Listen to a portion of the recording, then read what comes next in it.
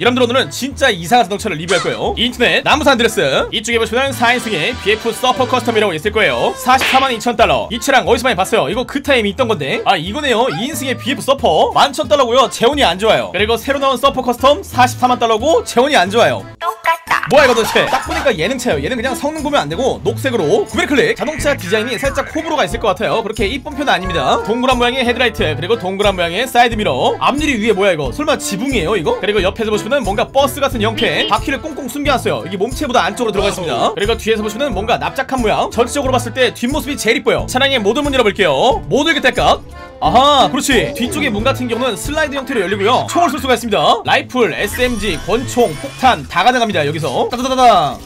따다당. 제가 내부 공간을 좀 볼게요. 뒤쪽에 시트가 3개. 하지만 사람은 2명만 탈 수 있습니다. 그리고 바로 뒤에 트렁크가 보이는군요. 여기 위쪽이 트렁크고 밑에가 엔진 같은데 빵 됐다. 자 이것이 바로 이 자동차의 엔진 사이즈가 그렇게 크진 않습니다. 그리고 여기는 운전석 사람이 두 명 타고요. 내부가 그렇게 넓진 않아요. 평범한 핸들과 계기판. 좋습니다. 여기 사이로 폭탄이 통과되는지 보겠습니다. 준비하시고 발사! Oh! My God 통과가 됩니다.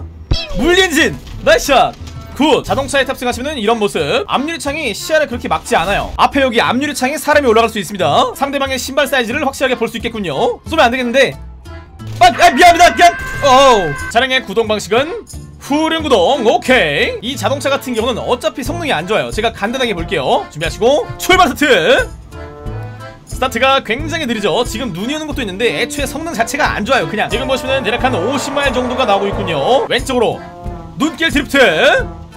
그렇지 눈길 드리프트! 유턴 보시면 이렇게 한 번에 유턴이 되는 것을 볼 수가 있습니다. 뭔가 눈도 오고 썰매를 타고 싶군요. 아니 잠깐 문방님? 타이어 넥자가 전부 다 터트렸고요. 이제 진짜 썰매 타는 느낌을 낼 수가 있겠군요. Oh my God. 왼쪽으로 드리프트 스타트가 아니라 돌아가죠. 망했죠? 자 그렇다면 이제 이 녀석의 진짜 성능을 보기 위해서 업그레이드를 해보도록 하겠습니다. 저 같은 경우는 아레나 개조실로 가볼게요 Oh my God! 내구도 full up 브레이크 full up 그 다음에 범퍼. 먼저 앞범퍼 같은 경우는 여기에서 건드리지 않을게요. 그 다음에 뒷범퍼는 스킵 엔진 full up. 다음에 머플러. 이거 개조해줘야 돼요. 여러분들 이게 머플러입니까 이게? 어? 보시면은 훨씬 더 큼지막하고 와일드한 것으로 바꿀 수 있는 것을 볼 수가 있겠습니다. 이 정도는 돼야죠. blow pipe. 그 다음에 그릴. 앞쪽에 있는 그릴을 바꿀 수가 있는데 디자인이 진짜 이상한 게 많이 있어요. 아니 이게 뭐야? 알트나무 커버. 그 다음에 헤드라이트 커버. 앵글 헤드라이트 서라운드. 경적은 loop에서 아무거나. 그 다음에 사다리를 볼게요. 뒤쪽에다가 사다리를 달 수가 있겠습니다. 운전석 사다리. 조명 blacklight 장착 완료. 네온 키트는 앞면 뒤면 옆면. 네온 색상은 blacklight. 그 다음에 상징을 봐줄게요. 이런 차량들은 상징을 진짜 잘 골라야 돼요. 안 그러면 멋이 안 나요. rust sunset 다음에 미러를 볼게요. 앞쪽에 있는 미러를 좀 더 독특하게 바꿀 수가 있겠습니다. 대형 타원형 미러. 그 다음에 도색 1차 색상은 무광에서 olive drab. 그리고 2차 색상은 그린. 잠시만요 여러분들. 상징을 다른 것도 보겠습니다. 이거로 바꿔. Lost MC 그 다음에 지붕 악세사리를 보겠습니다. 종류가 굉장히 많기 때문에 빨리빨리 넘어갈게요. 위에다가 뭐 보트 같은 거달수 있고 아니 보트가 아니라 이거 서핑보드 그렇지? 이런 것들. 더블 Jamaican 서핑보드 그 다음에 지붕. 지붕 같은 경우는 나무 roof. 그 다음에 스커트는 플라스틱 스커트. 서스펜션은 가장 낮게. 그 다음에 차양막 위쪽에다가 visor를 달 수가 있어요. 플라스틱 아니면은 뭐 나무 아무거나 뭐 이런 것들. 나무 대형 visor. 트랜스미션 full up 터보 장착 완료. 자 그다음에 휠. 휠 같은 경우는 튜너 중에서 골라드릴게요. 롤라즈. 휠 색상은 olive green. 타이어. 개조형 타이어 장착하지 않을게요. 타이어 향상 방탄 타이어 장착. 타이어 연기는 검은색 타이어 연기. 창문은 리무진. 자 이제 개조가 끝났습니다. 나가볼게요. 다음에는 저희가 썰매를 한번 타볼게요. 지금 마운틴 칠리아드산 정상까지 올랐고요. 여기서부터 여기 팔씨름 경기장까지 멤버를 보시면은 BF 서퍼 커스텀 아레나 스카라부 그리고 RCB가 참가를 했습니다.